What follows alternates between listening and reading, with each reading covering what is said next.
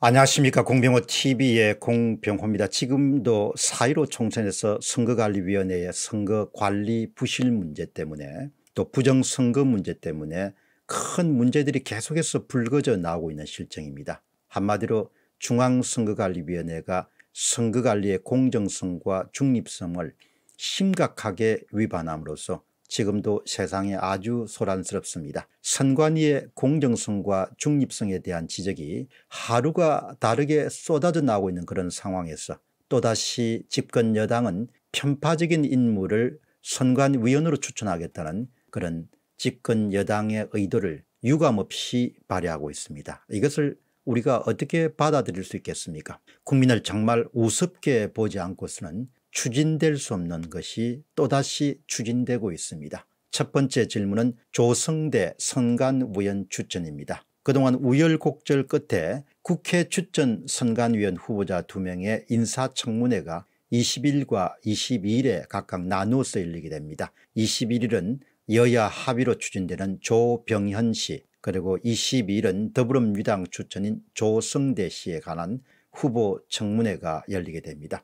조병현 후보자는 경력이나 능력으로 볼 때 적임자로 보입니다. 그러나 조성대 후보자는 그렇지 않습니다. 단순히 그렇지 않다 정도가 아니고 결격 사유가 차고 넘칠 정도입니다.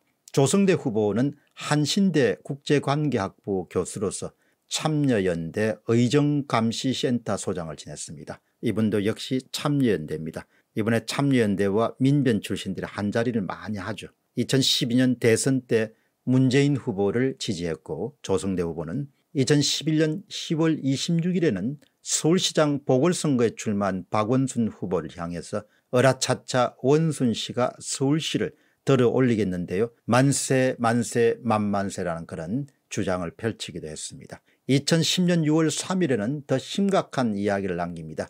천안함 푹짐과 관련해서 북한이 초기함 천안함만 두동강 내는 친환경 의뢰를 개발했다는 이 놀랄만한 개가 앞에 진실은이라면서 천안함 사태가 북한의 소행이 아님을 용감하게 지적했습니다. 또한 2011년 11월 23일에는 자유무역협정 FTA 비준안 통과시킨 의원 명단을 기억합니다.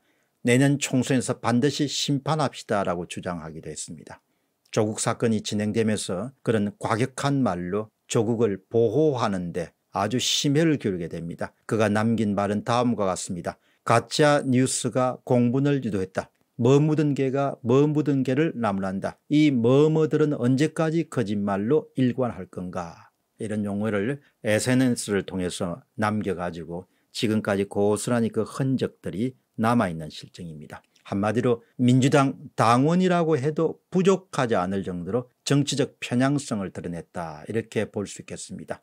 민주당 당원보다도 훨씬 더 과격한 정치적 그런 입장을 피력하고 있는 그런 교수다 이렇게 볼 수 있겠습니다. 이런 사람이 임기 6년에 엄정 중립성을 요구하는 장관급 직위에 오르는 것이 적절한지도 상당히 의문을 갖지 않을 수 없습니다. 물론 집권 여당은 그동안 해왔던 것처럼 반대가 많더라도 결국 밀어붙여서 장관직 자리에 앉히겠죠. 다음은 선관위원회 중립성입니다. 이미 중앙선거관리위원회를 분류해서 선관위의 중립성은 심각하게 위협받고 있는 의심받고 있는 그런 상황입니다. 지난해 1월에는 문재인 대선 캠프 백서에 특보로 기재된 조혜주 씨가 상임선관위원으로 임명돼서 적지 않은 논란이 일었습니다. 그래서 당시에는 실질적 활동은 펼치지 않았다 이렇게 옹호나 변명이라도 늘어났습니다. 그러나 조성대 후보자의 경우는 그런 변명을 할 여지가 없습니다. 너무나 명확한 그런 증거를 남겼기 때문입니다. 선관위는 지난 4.15 총선 부정선거 논란과 아울러서 정말 선거 과정에서도 편파적인 결정을 많이 내렸고 여당을 노골적으로 도왔습니다. 아주 내놓고 도왔습니다. 역대 그 어떤 선거관리위원회도 이렇게 노골적으로 집권 여당을 도운 적은 없습니다. 선관위는 야당의 민생 파탄 구호는 사용할 수 없도록 했습니다. 여당의 친일 청산 적폐 청산은 허용했습니다. 너무나 심각한 편파성을 드러낸 그런 선관위원들이었습니다. 야당이 요구했던 비례 무슨 무슨 당 명칭도 쓸 수 없다고 불허했습니다. 더 심각한 것은 선거 이틀 전에 9천억이 넘는 세금을 뿌려가지고 표를 구매하는 금품 선거에 대해서도 중앙선거관리위원회는 일체 경고성 발언 한 번 없었습니다. 다음은 우리가 알아야 할 일입니다. 선거는 그야말로 민주주의의 시작이자 끝이자 최종 보루입니다. 정권이 교체될 수가 없으면 그것은 자유민주주의 국가라 할 수 없습니다. 정권의 교체 여부를 엄정하게 관리하는 그런 기관이 바로 중앙선거관리위원회고 선거관리위원들이 엄청나게 중요한 역할을 하게 됩니다.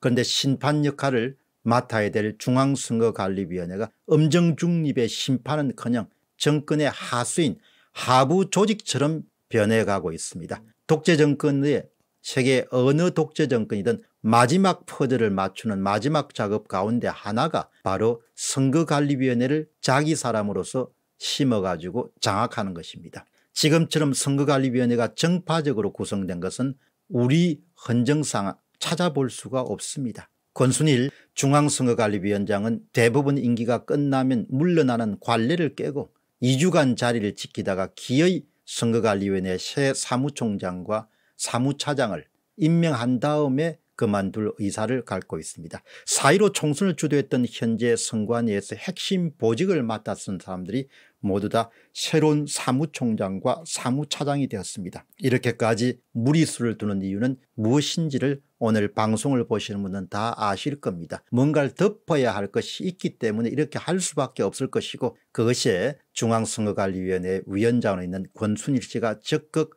호응하고 협조하고 있음을 우리가 짐작할 수가 있습니다. 결국 국회를 장악하고 법원을 장악하고 검찰을 장악하고 이어서 선거관리위원회까지 장악하려는 움직임을 밖에 해석할 수가 없습니다. 이런 상태에 놓인 대한민국을 조금 깊이 이해하는 사람들이라면 누가 자유민주주의 국가라고 부를 수 있겠습니까 또 이 대한민국이 자유민주주의 국가를 유지할 가능성이 있다고 생각하겠습니까 이런 점에서 중앙선거관리위원회에서 중립적인 인사를 선거관리위원으로 이렇게 선관위원으로 임명하는 것은 너무나 중요하지만 이 같은 주장을 여당이 수용할 가능성은 상당히 낮다고 그렇게 봅니다. 항상 자신들이 원하는 방식대로 자기 마음대로 인사를 밀어붙이는데 너무 익숙하기 때문입니다. 광고 하나 드리겠습니다.